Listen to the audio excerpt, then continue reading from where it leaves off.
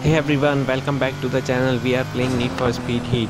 Here we give you a short vehicle review that will help you to understand the dynamics of vehicle while playing the game. This is BMW Z4.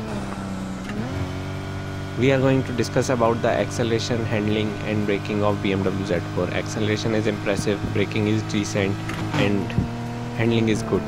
If you want more performance out of this vehicle, you have to upgrade it.